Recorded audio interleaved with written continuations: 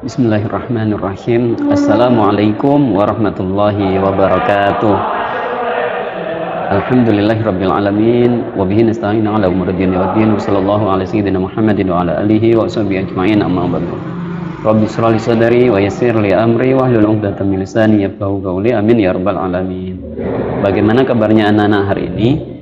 Alhamdulillah, semoga kita semua selalu diberi kesehatan oleh Allah Subhanahu wa taala. Amin ya rabbal alamin.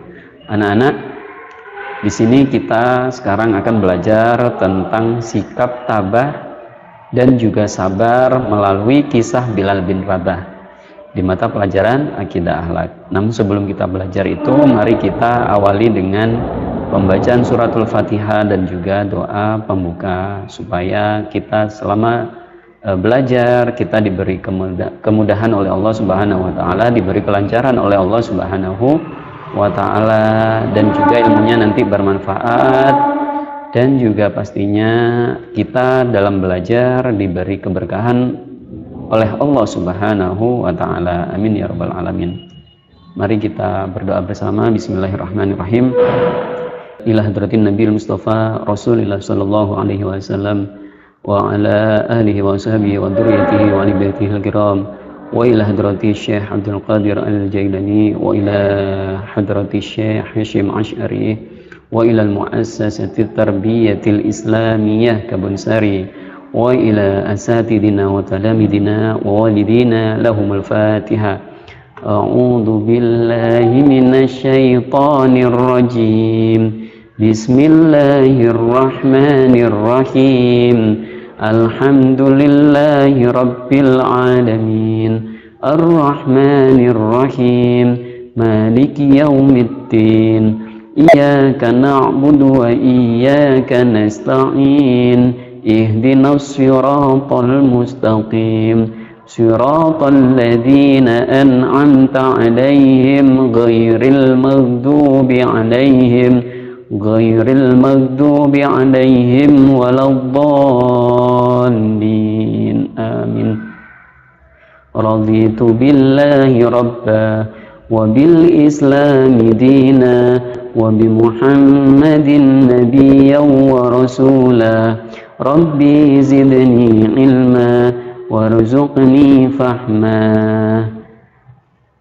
اللهم صل صلاة كاملة وسلم سلاما تاما على سيدنا محمد الذي تنحل به العقد وتنفرج به القرب وتقضى به الحوائج وتنال به الرغائب وحسن الخواتيم ويستسقى الغمام بوجه الكريم وعلى آله وصحبه في كل لمهات ونفس ونفس بعدد كل معلوم لك الحمد لله رب العالمين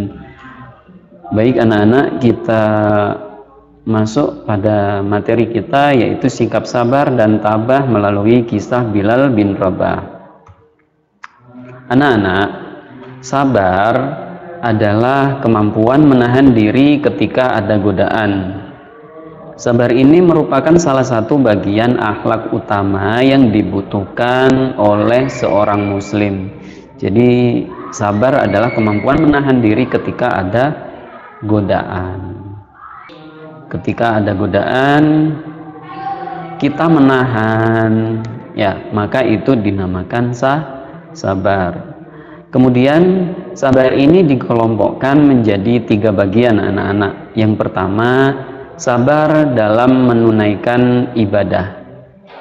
Jadi orang yang menunaikan ibadah itu pasti akan mendapat uh, suatu godaan dari setan biasanya. Ya, setan itu menggoda kita ataupun dari nafsu kita sendiri, males dan lain sebagainya.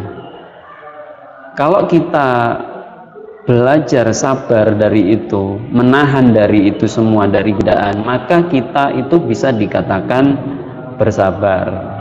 Sabar dalam artian ibadah yang, yang seperti itu tadi ya, ketika mau sholat misalkan males dari nafsu kita atau ada godaan dari setan, gak usah sholat wis seperti itu, atau gak usah berpuasa, jangan kita biarkan, harus kita lawan ya atau harus kita tahan maka itu dikatakan sabar dalam artian menunaikan ibadah. Kemudian yang kedua sabar dalam meninggalkan maksiat. Biasanya seseorang itu ada yang sudah terlanjur di dalam perbuatan maksiat. Setiap hari wis jadi preman lah. Nah kemudian dia meninggalkan itu semua meninggalkan kemaksiatan itu maka itu juga termasuk dalam e, artian sabar. Bisa dikelompokkan ke dalam kelompok yang tiga ini. Ya sabar dalam meninggalkan maksiat. Atau ada teman yang mengajak seseorang untuk melakukan maksiat. Nah aku enggak wis misalkan ya. Aku enggak melok. Nah itu kan meninggalkan maksiat. Maka itu juga bisa dikatakan orang yang bersabar dalam meninggalkan maksiat. Kemudian yang ketiga, sabar dalam menghadapi masalah. Ini misalkan terjadi bencana atau kematian ataupun sakit dan lain sebagainya. Itu kan namanya masalah ya. Kalau kita melewati itu semua, kita menahan, kita uh, berhasil apa ya tidak marah, tidak emosi, tidak menyalahkan ini itu, maka kita bisa dikatakan orang yang bersabar dalam ini, dalam menghadapi masalah. Kemudian sikap tabah sekarang. Tabah ini adalah tahan menghadapi kondisi yang tidak disenangi dengan ridho dan menyenangkan diri kepada Allah Subhanahu wa ta'ala. Jadi tahan menghadapi kondisi yang tidak disenangi dengan ridho dan menyerahkan diri kepada Allah subhanahu wa ta'ala. Ini tabah. Orang tabah akan tetap tenang dalam berbagai keadaan dan selalu akan mengingat Allah subhanahu wa ta'ala dan juga berserah diri dalam kondisi apa pun. Dan orang yang tabah ini tidak mudah untuk berputus berputus asa. Jadi tidak mudah putus asa orang yang tabah ini. Kemudian sekarang kita bahas tentang kisah Bilal bin Rabah. Anak-anak, Bilal bin Rabah adalah seorang budak. Bilal bin Rabah ini adalah penyembah berhala pada awal mulanya. Jadi dulu sebelum masuk Islam, sebelum adanya Nabi Muhammad, ya Bilal bin Rabah ini adalah orang yang menyembah berhala. Kemudian setelah mendengar dakwah Nabi Muhammad SAW, hatinya, hati daripada Bilal bin Rabah ini menjadi senang dan tenang dan merasa cocok dengan ajaran Islam.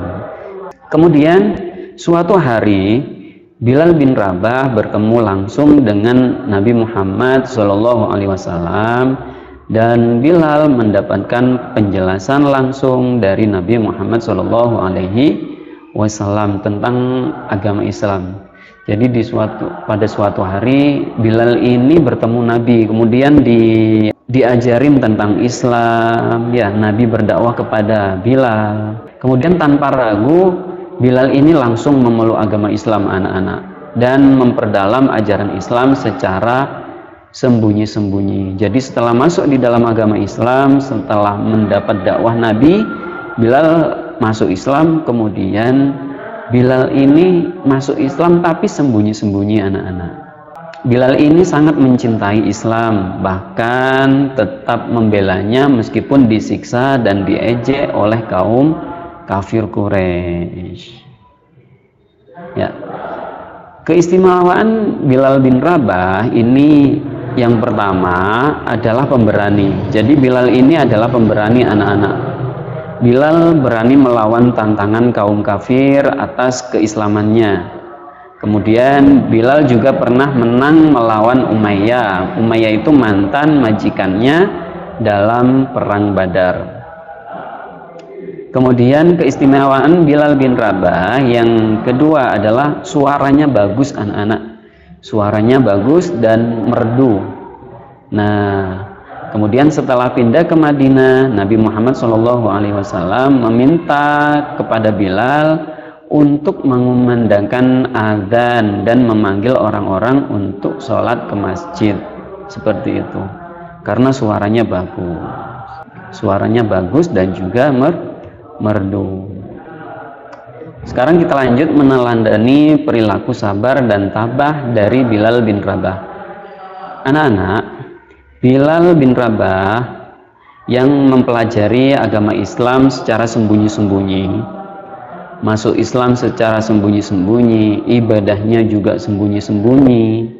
Akhirnya diketahui oleh majikannya yaitu Umay Umayyah. Kemudian Umayyah mengetahui bahwa Bilal bin Rabah itu telah masuk Islam. Nah, pada uh, kemudian akhirnya Bilal ini disiksa.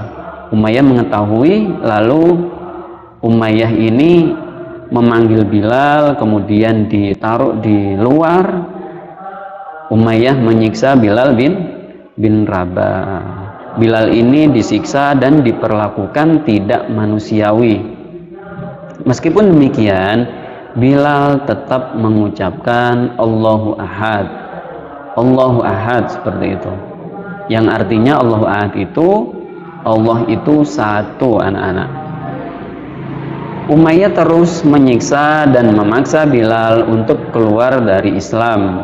Tetapi Bilal tetap beriman kepada Allah Subhanahu wa taala. Jadi setiap hari Bilal itu uh, Bilal itu disiksa anak-anak. Disiksa oleh Umayyah. Kemudian di hari ketiga, insya Allah ya. Kemudian diketahui oleh Abu Bakar As-Siddiq bahwasannya Bilal ini disiksa oleh Umayyah karena telah masuk Islam. Akhirnya Abu Bakar As-Siddiq membeli Bilal dari Umayyah.